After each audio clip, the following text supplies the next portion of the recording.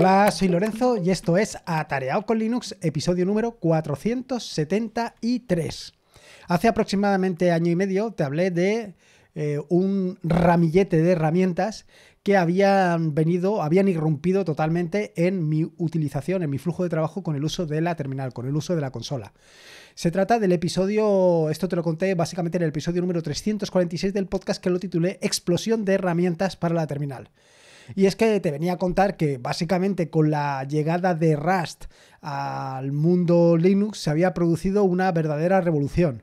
Una gran cantidad de desarrolladores habían optado por la opción de reimplementar, rediseñar, bueno, actualizar básicamente muchas de las herramientas que se utilizaban en Linux. Incluso lo que viene a ser el núcleo las core utils de GNU pues estaban siendo reemplazadas por sus equivalentes, pero ni con GNU porque iba a ser con licencia MIT y ni como eran originalmente que eran en C, pues reemplazadas o en C++, eso ya no lo sé, reemplazadas por Rust. Como te digo, son muchas herramientas las que han ido apareciendo poco a poco en el ecosistema Linux y que han ido cambiando no solamente mi flujo de trabajo, sino el flujo de trabajo de muchas gentes. Y no solamente es esto, sino que además la gran ventaja que trae todo esto es que eh, han ido actualizando esas vetustas herramientas a las posibilidades que nos ofrecen los emuladores de terminal que te puedes encontrar hoy en día. Y te digo esto de que han venido a actualizarlo porque aprovechan extraen más eh, posibilidades de las consolas que actualmente estamos utilizando, que bueno, pues dan muchas más posibilidades de las que daban las eh, en los momentos originales en los que se desarrollaron aquellas herramientas. Sea como fuere, desde aquel episodio 346, hace aproximadamente, como te decía, año y medio al día de hoy, algunas de estas herramientas que te conté en su momento he seguido utilizándolas, otras pues a lo mejor las he desplazado ligeramente y lo que vengo a contarte yo en este episodio del podcast básicamente es que he añadido cuatro o cinco nuevas que me gustaría que probaras. Y antes de decirte esto, quiero poner en contexto. Eh, esto no es ni ningún tipo de obligación para nada, ni te estoy diciendo que estas herramientas sean mucho mejor que eh, otras, ni nada de nada. Lo que para mí puede ser mejor, para ti no tiene que ser tanto mejor. Incluso hay determinadas herramientas que yo no utilizo porque simplemente no se acoplan a mi flujo de trabajo. Y esto también te puede suceder a ti. A lo mejor una herramienta como Starship o como Celich no se acopla a tu flujo de trabajo y sin embargo para mí son herramientas que debes de probar sí o sí. Simplemente lo que vengo a traerte es una serie de herramientas que me gustaría que probaras. Y no solamente que probaras, sino que también me dieras tu opinión sobre estas herramientas para decirme exactamente si te gustan, si efectivamente son herramientas que te resultan útiles, si tienen un potencial, si te sirven a ti. ¿Que no las quieres probar? Bueno, pues fantástico. ¿Que tus herramientas con las que estás acostumbrado a trabajar funcionan perfectamente y no quieres probar otras? Pues fantástico también. A mí lo que me gusta del mundo Linux es que tienes una gran variedad y una gran cantidad de posibilidades para probar, para utilizar, para mejorar tu flujo de trabajo. Y no solamente es esto, pese a que eh, alguno en un momento determinado haya podido decir que el mundo de Linux está estancado, ni mucho menos. Cada día salen nuevas herramientas, nuevas opciones y nuevas posibilidades que abren un mundo de opciones, un mundo de, como te digo yo, un mundo para hacer todo lo que haces de forma habitual o mejor o de una manera completamente distinta. Y esto lo que permite es que eh, se adapte a tu flujo de trabajo. Y no como sucede en otras circunstancias donde tú te tienes que adaptar al flujo de trabajo. No, no. Aquí tú, te, eh, tú puedes elegir esas herramientas que se adapten a tu flujo de trabajo. Dicho esto, voy directo al turrón. Y voy a empezar por contarte o recordarte aquellas cuatro herramientas que te conté en el episodio 346 del podcast, en, el, eh, en ese episodio titulado Explosión de herramientas para la terminal. Bueno, pues esas cuatro herramientas básicamente son LSD, que es un reemplazo de LS, pero con unas características, bueno, pues que precisamente hacen lo que te he contado anteriormente, y es básicamente mostrarte em, iconos, mostrarte colores, eh, te dan una mucha más información de un solo vistazo. Es un reemplazo para mí ideal. La siguiente de las herramientas es BAT, que es un reemplazo de CAT. Eh, tiene como ventaja respecto a CAT eh, básicamente el resaltado de sintaxis, por un lado, que además lo puedes configurar y personalizar exactamente como tú quieras, y luego por otro lado, por ejemplo, la numeración o que se integra perfectamente con Git. Esto la integración con Git, sobre todo para los que desarrolláis, os va a venir fantástico porque simplemente con hacer un bat de un archivo vais a poder ver aquellas partes del archivo que hay que modificar o que se han modificado o que, bueno, pues que en un momento determinado han sufrido cualquier tipo de eh, cambio respecto a la, al original. La siguiente es Dust, que es un reemplazo de DU, que simplemente para, sirve para ver eh, la utilización de disco, pero como de costumbre, pues con mejor resaltado de sintaxis, colores, etcétera, etcétera. Y por último, la última de las herramientas de la que te hablé era FD, que venía a reemplazar a Find. Eh, esta última Find, o bueno, en realidad FD no la estoy utilizando tanto como Find porque pues, en el trabajo no puedo utilizar FD, con lo cual me he acostumbrado cada vez más a utilizar Find y esta pues la he dejado un poco de lado. Sin embargo, tanto LSD como BAT como Dust sí que las utilizo en mi equipo personal porque me permiten una mayor productividad. Dicho esto, y una vez te he contado un poco esas cuatro herramientas, ahora te voy a contar las cinco que han venido a incorporarse a mi flujo de trabajo y de las que en algún momento ya te he hablado. O bien haya sido precisamente en este podcast, o bien haya sido en los vídeos de YouTube. En cualquier caso, para aquellas que haya vídeo, lo que voy a hacer es incorporarlo en las notas del programa, en la página web, en atareado.es barra eh, podcast barra 3 473 y allí vas a poder ver o vas a tener un enlace a cada uno de estos vídeos para que puedas verlo y que puedas ver en directo las posibilidades que te ofrecen estas herramientas. Y voy a empezar precisamente por Starship.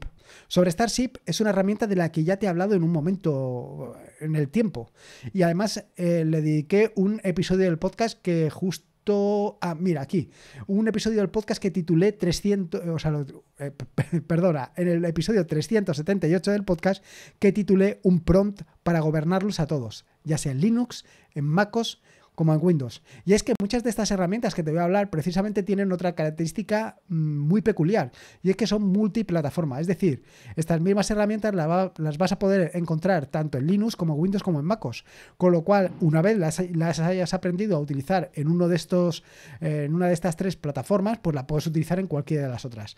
Y no solamente es esto, no solamente están disponibles para Windows, Linux y MacOS, sino que en algunas de ellas también está disponible para eh, ahora no me va a salir, para Android. O sea que las posibilidades son brutales. Bueno, como te decía, la primera de estas herramientas que yo titulé en el episodio 378 del podcast un eh, prompt para gobernarlos a todos es precisamente eso.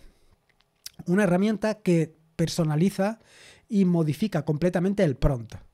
Si no sabes lo que es el prompt, simplemente decirte que es eh, esa como te digo, ese primer texto que aparece en la línea de comandos en la consola y que normalmente pues viene a ser a lo mejor eh, tu nombre de usuario y el nombre de la máquina, el nombre del host en el que se encuentras o incluso, bueno, normalmente también ahí aparece el directorio, evidentemente, en el que te encuentras. Eso básicamente ahí es el prompt. ¿Qué es lo que sucede? Bueno, pues lo que sucede es que ese prompt tú lo puedes modificar. Y lo puedes modificar o bien a mano, bueno, quiero decir a mano, puedes eh, definir exactamente cada una de las cosas que aparecen en el prompt, o también puedes utilizar otras eh, herramientas que te ofrecen los diferentes shell. En Bash tienes eh, una herramienta que se llama Basit que te va a permitir configurar el prompt y en ZSH tienes OMA ZSH que con diferentes temas también lo puedes personalizar perfectamente. Sin embargo, la herramienta que te traigo hoy, bueno, y que te conté en el episodio 378, Starship, es una herramienta que además de ser multiplataforma, lo que te va a permitir es llevarte esa configuración a cualquiera de los entornos de escritorio, a cualquiera de las plataformas, a cualquiera de los eh, sistemas donde lo tengas instalado. Con lo cual, con independencia exactamente de la shell que estés utilizando, vas a poder utilizar el mismo prompt. Esto ya de por sí es una gran ventaja porque no te tienes que pelear con que en un servidor vas a tener bash, en otro servidor vas a tener ZSH, por ejemplo, y claro, en cada uno tienes que configurar el prompt de una manera diferente. Así, utilizando Starship, no te calientas la cabeza. Simplemente utilizas el mismo prompt, la misma configuración para todos tus eh, entornos, para todos tus sistemas, para todos tus todo. Y esto es fantástico. Pero no solamente es esto, que ya de por sí, como te digo, es una gran ventaja. La otra gran ventaja que te aporta es que se trata de un prompt dinámico. Es decir, que dependiendo de dónde se encuentre, mejor dicho, dependiendo de dónde te encuentres, te va a mostrar una información u otra. Por ejemplo, aparte de evidentemente mostrarte el directorio en el que te encuentras, también te va a mostrar información relativa precisamente al directorio en el que te encuentras. Por ejemplo, si te encuentras en un directorio de un desarrollo que estás haciendo en Python, te va a mostrar información relativa a ese desarrollo. Si tienes control de versiones, te dirá en qué rama, en qué rama estás, si tienes commits por hacer, si tienes parte de tu código por comitear, todo esto te lo va a mostrar directamente en el PROM. Igualmente, si lo tienes configurado, también te mostrará información relativa a Python, la versión de Python que estás utilizando, si estás o no estás en un entorno virtual de Python, todo eso te lo va a mostrar. Con lo cual ya ves la gran cantidad de información que tienes ahí. Y esto es muy ventajoso porque de un solo vistazo sabes exactamente no solamente dónde te encuentras, sino las condiciones de contorno que todo esto suponen. Y esto es brutal. Esta es la primera de las herramientas. La segunda de las herramientas que quiero comentarte es Zoxide. Es muy probable que ya hayas utilizado alguna herramienta parecida a Zoxide, como puede ser AutoJump o Z, etcétera, etcétera. Sin embargo, tanto AutoJump como Z son eh, herramientas que están condicionadas básicamente por la shell que estés utilizando. De nuevo, una de las grandes ventajas que te ofrece Zoxide respecto a otras herramientas es que es eh, independiente de la SER que estés utilizando. Y no solamente independiente de la SER que estés utilizando, sino también independiente de la plataforma que estés utilizando. Es decir, puedes utilizarla de nuevo tanto en Linux como en Windows como MacOS.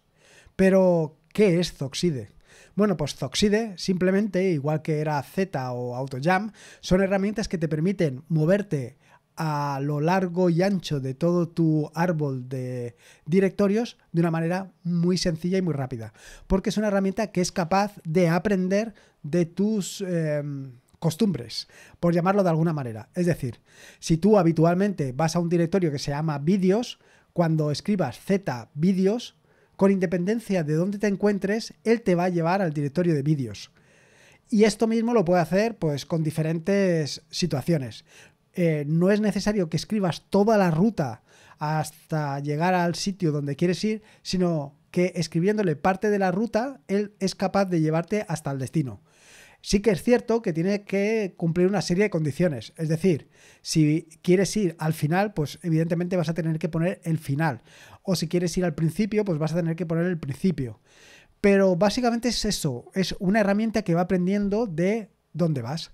De forma que si tú habitualmente vas siempre a un mismo directorio con un mismo nombre, pues cuando escribas ese mismo nombre te va a llevar a ese directorio.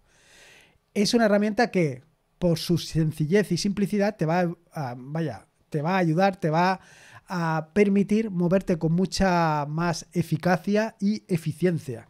Y es una herramienta que no puedes perder de vista. La siguiente es RipGrep, que como ya te puedes imaginar es una herramienta similar a grep, pero con un potencial brutal. Es una herramienta que va rápido, no, lo siguiente, brutal, pero es increíblemente rápida. Yo estoy completamente eh, sorprendido de la velocidad que te muestra. Actualmente yo ya estoy, yo estoy utilizando esta herramienta de dos maneras distintas. Una integrada directamente con NeoBeam, de manera que yo estoy utilizando RipGrep dentro de NeoBeam y la segunda de las herramientas o la segunda de las opciones que estoy utilizando es directamente desde la terminal.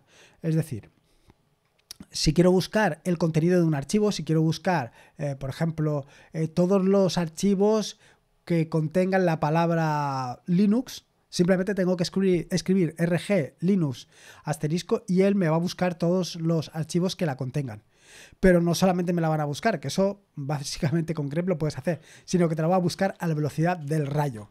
Precisamente a este le he dedicado un vídeo porque es que me parece una herramienta brutal. Y te digo además que la tengo eh, integrada con eh, NeoBeam, básicamente porque eh, estoy utilizando el método Zettelkasten. el método Zettelkasten, recordarte que es una, un método para organizar, para tener una base de conocimientos. Sin embargo, pues hay veces que simplemente quieres buscar esa palabra, quieres eh, intentar localizar algunos conceptos y aunque lo tengas muy bien organizado, hay veces que nos perdemos. O simplemente que en un momento determinado esa etiqueta no la has puesto, o la razón que sea. Con Rick la vas a encontrar seguro. Y como te digo, si la tienes integrada dentro de NeoBeam, simplemente utilizando un atajo de teclado, una combinación de teclas, vas a poder llegar a ella en unos instantes.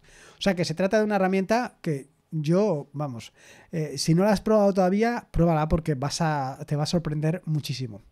La siguiente es Bottom. Eh, sobre Bottom no se trata de una herramienta que, mm, eh, ¿cómo te digo? No se trata de una herramienta que te vaya a facilitar el trabajo. Es una herramienta de las tipo top, htop, btop. Simplemente una herramienta que te muestra información, te monitoriza tu equipo en tiempo real. Estás viendo en tiempo real exactamente lo que está sucediendo. Se trata de eso, de ver cuáles son los procesos que en este momento están consumiendo más CPU, cuáles son los procesos que están eh, consumiendo más comunicaciones, tanto de entrada como de salida, los que consumen RAM, disco, etcétera, etcétera. Y esto te lo demuestra tanto en forma de tabla como en forma de gráfico. De hecho, si ves el vídeo, el vídeo que acompaña a este podcast, verás exactamente lo que te estoy diciendo, porque aparece exactamente a mi izquierda. Porque a la derecha aparece Rusty Rain. O sea que aparece a mi izquierda y verás ahí los grafiquitos de los consumos de CPU, del consumo medio, el consumo por CPU, etcétera, etcétera. Y igualmente te aparece el consumo de RAM, el consumo de las temperaturas. Vaya, que tienes ahí toda la información de un solo vistazo. Como te digo, no se trata de una herramienta tanto eficaz o eficiente como las que te he contado anteriormente y la que te voy a contar a continuación, pero sí que es una herramienta que si en un momento determinado estás desarrollando una aplicación y quieres saber lo que impacta el uso de esa aplicación en tu equipo, lo puedes ver, porque puedes tener eh, perfectamente monitorizado todo lo que está sucediendo. Así que es una herramienta muy interesante. Y luego la quinta de las herramientas eh, es una herramienta que probablemente yo no utilice todo lo que tenga que utilizar o lo que debería de utilizar. Porque actualmente estoy tan acostumbrado al uso de i3 que mm, abrir una nueva terminal pues no me representa eh, un esfuerzo. Quiere decir, que si yo estoy trabajando y necesito una segunda terminal, pues abro una segunda terminal, que necesito otra tercera terminal, abro una tercera terminal y ya está. No me preocupa de cuántas terminales tengo abiertas en mi escritorio, porque, bueno, pues esa es precisamente una de las ventajas que tienen los escritorios de tipo Tiling Window Manager. Sin embargo, soy consciente que hay mucha gente que utiliza herramientas como pueden ser Temux, o algún que otro eh, multiplexador de terminal precisamente para tener en una misma terminal distintas eh, ventanas. Yo esto poco a poco lo estoy incorporando a mi flujo de trabajo y en su momento intenté incorporarlo con Temux, pero no me, no sé, no lo sé, no, no se adaptaba a mi flujo de trabajo. Celig, que es la herramienta que te quiero contar, es una herramienta que sí que se está acoplando a mi flujo de trabajo porque no tiene una curva de aprendizaje tan dura como la de Temux. No por nada, no porque sea mucho más fácil que utilizar Temux, ni mucho menos, sino porque simplemente cuando abres en, una, eh, en un terminal Celig, allí directamente vas a poder ver toda esa información. Vas a poder ver todos los atajos de teclado, vas a poder ver eh, las pestañas que tienes abiertas, vas a poder ver todas las opciones y posibilidades que tienes para utilizar Celig. No te tienes que aprender, al menos de principio, todos los atajos de teclado. Estos no son, evidentemente, las únicas ventajas que tiene Celig. Celig tiene una gran cantidad de opciones y características y en muchos sitios lo definen como pues, un multiplexador de terminal súper vitaminado y mineralizado. O esto lo decía aquel dibujo animado. Bueno, no me acuerdo. En fin, eh, es una herramienta brutal porque te permite personalizarla y configurarla exactamente a tus necesidades. Tienes la primera posibilidad de configurar y personalizar todos los atajos de teclado exactamente como tú quieras. Opción 1. Opción 2. Tienes la opción de eh, configurar la disposición, el layout de todos los paneles para que cuando inicies tu Celig quede todo dispuesto conforme tú lo estás utilizando. Incluso puedes crear layouts personalizados para hacer diferentes opciones. Por ejemplo, en este caso, lo que estás viendo en el vídeo, si me estás viendo en vídeo o me si me estás escuchando en el podcast, cuando salga el vídeo, pues simplemente vas al vídeo y lo verás. En el vídeo estoy utilizando ahora mismo Celig y estoy utilizando Celig con un layout donde tengo puesto eh, de inicio bottom, del que te acabo de hablar, por un lado, a la izquierda, y Rusty Rain a la derecha que es esto de que aparece en Matrix. Bueno, pues esto lo tengo configurado por defecto, de forma que cuando yo lanzo Celic con ese layout, directamente se lanza esto. No tengo que especificar eh, dónde va cada cosa, sino que el layout viene ya así con esos comandos, lo cual evidentemente cuando quieres hacer algo concreto viene fantástico. No solamente esto, sino que planteate eh, que vas a desarrollar una aplicación o que quieres trabajar en algo y que siempre que quieres trabajar sobre ese proceso o sobre ese proyecto, siempre necesitas las mismas ventanas. Bueno, pues con Celig y los layouts puedes hacerlo perfectamente porque te puedes crear un layout además de una manera súper sencilla para tenerlo todo configurado. De hecho, y aunque tengo un vídeo eh, explicando cómo se utiliza Celig, quiero hacer un vídeo de más detalle de todas las posibilidades que te ofrece Celig, tanto del uso de los layouts como eh, del uso de, los, de las combinaciones de teclas y las nuevas características que se han incorporado recientemente, que es la disposición de los paneles, que puedes eh, apilar todos los paneles y luego poder seleccionarlos uno a uno. Te digo que Celig, eh, si estás acostumbrado al uso de Tmux o si eres un usuario yo te diría que inicial de Temux, le dieras una probada a Celic. Si eres un usuario avanzado de Temux, probablemente dar el cambio a Celic pues no te venga nada bien, porque ya tienes aprendido, bueno, pues todos esos atajos de teclado. Sin embargo, lo que puedes hacer es migrar toda esa configuración a Celic. Es un trabajón, pero yo creo que es un trabajón que vale la pena, desde mi punto de vista. Pero esto es como todo, a cada uno le gustan unas cosas y cada uno tiene sus preferencias.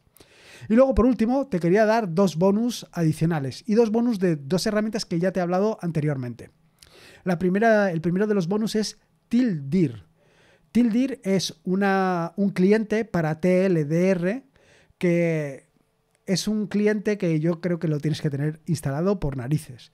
Si haces uso de la terminal, si haces uso de la consola, si haces un uso intensivo de la consola, pues Em, habitualmente tires de man, tires de la ayuda para saber cómo tienes que utilizar determinadas herramientas.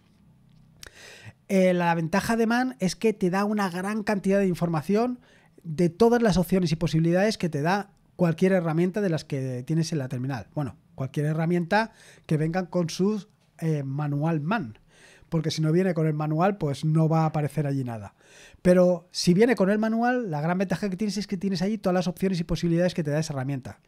El inconveniente que tiene es que es abrumador. En ocasiones, leerte toda esa cantidad ingente de información, pues hace que, bueno, pues que te resulte casi pesado seguirlo. Y no solamente esto, sino que si en un momento concreto estás intentando resolver una cuestión concreta, pues leerte todo el manual para simplemente saber cómo tienes que comprimir, contar y mantener el directorio, pues muchas veces se hace complejo. Bueno, pues TLDR es un sistema que simplemente te muestra pues en dos o tres líneas la definición de algunos de los comandos y luego te pone seis o siete ejemplos de su uso. Y esto está fantástico, porque no te tienes que, como te decía anteriormente, leerte la extensa documentación de cualquier comando, sino lo que puedes hacer de una manera sencilla es simplemente mm, leerte para qué se utiliza y alguno de los eh, usos que tiene. Y luego el otro bonus que te quería dar es Prox. Prox es, eh, digamos, que la alternativa a PS.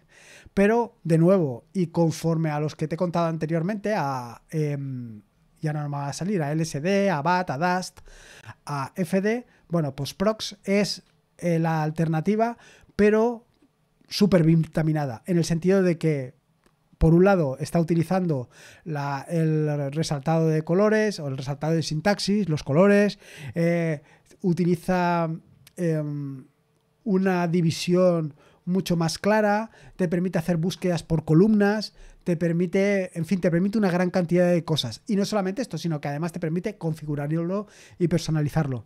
Y también tienes la opción de utilizarlo en modo eh, vigilancia. Lo puedes utilizar exactamente igual que funciona pues HTOP, en el sentido de que lo puedes tener monitorizando determinados procesos. Y esto está muy bien. Simplemente eran estos dos bonus. Eh, y por otro lado Prox, por si acaso les quieres pegar un vistazo. Pero sin lugar a dudas, yo te recomiendo que tanto Starship como Zoxide, Ripgrave, Celig, los pruebes. Los pruebes porque realmente vas a ver el potencial que tienes ahí. Eh, entiendo que en, siguientes vídeos em, publicaré más sobre estas herramientas porque de verdad que le estoy sacando muchísimo, muchísimo potencial. Y nada más, esto es un poco lo que quería contarte en este episodio del podcast. Espero que te haya gustado y sobre todo espero que le saques provecho, porque de verdad que estas herramientas son realmente potentes y les puede, las puedes exprimir al máximo. Recordate que este es un podcast de la red de podcast de sospechosos habituales donde puedes encontrar fantásticos y maravillosos podcasts. Puedes suscribirte a la red de podcast de sospechosos habituales en fitpress.me barra sospechosos habituales. Y por último, y como te digo siempre, recordarte que la vida son dos días y uno ya ha pasado. Así que disfruta como si no hubiera mañana y si puede ser con Linux y en este caso con estas herramientas, mejor que mejor. Un saludo y nos escuchamos el próximo jueves.